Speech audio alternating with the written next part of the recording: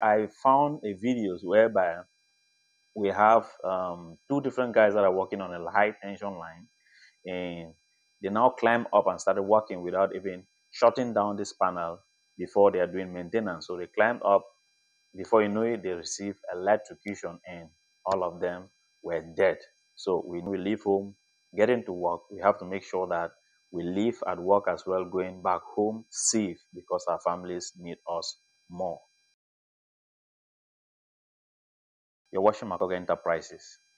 Um, today's topic we are going to be discussing on electrical hazard. This is very important so that while we're working in the field, we get to understand the different hazards or the different things that might occur to us while we're working in the field so that we we know how to protect ourselves or to set precautionary measures so that while we are done with work on site, we leave site as well safe. Um, this is so that while we live at home going to work, we make sure that we are leaving from work, come back to home safe because our families need us the most. So we have to make sure that we we follow precautionary measures after understanding the different electrical hazards that might occur on site, which is very important. So um, we will dive straight for us to understand what is hazard. So I'm going to define hazard on a general perspective or a general point of view, which I will define it as a potential source of harm which might occur to a person or property. This is very important. And then also we move now forward to understanding the different types of hazards. So the first on our list, which is short circuit, and the next is um, electrocution. The third is burns as a result of arc flash or blast. And then we move to the fourth point, which is fall at height. So we will start by defining the first point or explaining what is short circuit, which is the first point. So short circuit is um, when we have two conductors of different polarities come together. This is what is called short circuit. So we might have either phase and neutral come together or perhaps we might have as well um, two different phases coming together. This is as well short circuit.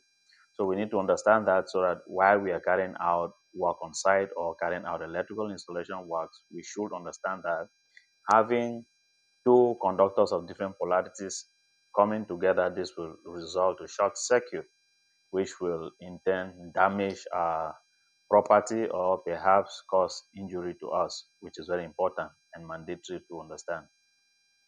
The next is electrocution. So we need to understand that while we are working in the field, we take precautionary measures like I said, and then also we might have our panels which are live, which are electrically supplied.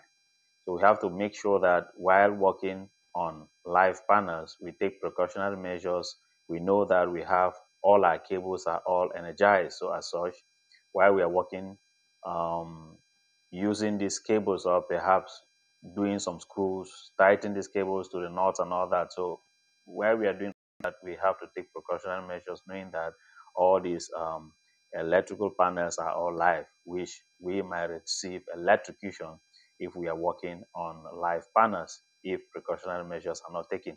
And then also I, I, I found a videos whereby we have um, two different guys that are working on a high tension line and they now climb up and started working without even shutting down this panel before they are doing maintenance. So they climbed up. Before you know it, they receive electrocution and all of them were dead. So we need to make sure that we take precautionary measures. Like I said, when we leave home, getting to work, we have to make sure that we leave at work as well, going back home safe because our families need us more.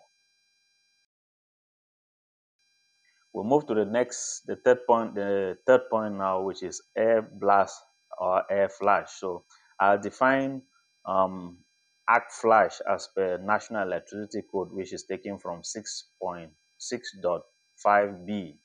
So I define it as um, during an arcing fault, electrical energy is converted into various other forms of energy. Electrical energy can vaporize matter. This is very important. So this is the, the level at which it, it, or the things at which it can do, which can change from a solid state to a vapor. When copper vaporizes, it expands in volume and creates a superheated plasma. So we need to understand that.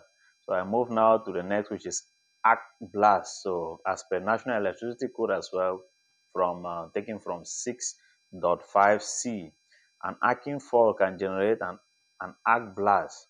The strength of an arc blast creates a, ex, creates an explosive pressure pressure wave that can eject shrap, shrapnel, molten metal, plastic and paint across a room, cause severe injuries or death to those who are close to the blast. This is very important. So when we, we, we are working on panel boards, working in um, electrical rooms, MDB rooms, we have to take precautionary measures while we are working on site because we might tend to have either the arc flash or arc blast. So we have to take precautionary measures while working on site. And then also the foot on our list, which is fall at height.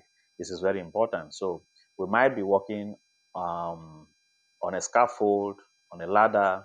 So we have recommended heights as per the project requirement. Also, we have OSHA, which have also placed a recommended or the minimum height which we should be working. Above that, we have to provide safety harness while we are working on the scaffold or probably on um, a ladder. So we have to take all that into due consideration. Make sure that you put on your safety harness. You might be doing uh, a GI conduit or galvanized iron PVC conduit on the soffit, which is a slab as well. While you're working on that height, make sure that you put, put on your safety harness while you're working at height. This is very important. You might be doing drilling, fixing your fixing saddles, while doing GI conduits and all that, or probably fixing support for cable tray, trunkings, cable ladders, and so on and so forth. So we have to make sure that we take precautionary measures while doing all this work, which is very important. Till then, you're watching Makoge Enterprises.